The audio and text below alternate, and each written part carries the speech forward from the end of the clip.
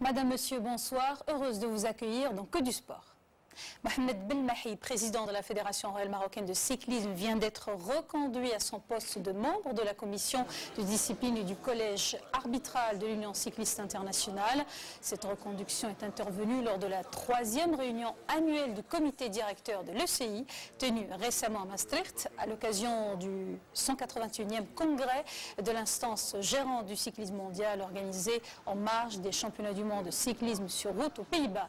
Pour rappel, le collège arbitral de l'ECI a pour mission de statuer sur les différents litiges à l'échelle internationale qui se posent au niveau de la pratique du cyclisme mondial.